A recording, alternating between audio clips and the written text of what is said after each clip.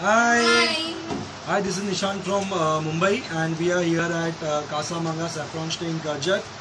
The place is very good, very silent and uh, Very it's peaceful. very peaceful and very fun loving. If you have a group of more than 6 to 8 people, it is very uh, good place to chill near Mumbai. Uh, great stay, yeah. Thank you. The service was also really good. So And people are here are also very cooperative and caretakers are also very nice and supportive and helpful. So yeah, we give the 5 star rating. Thank Thank you. you.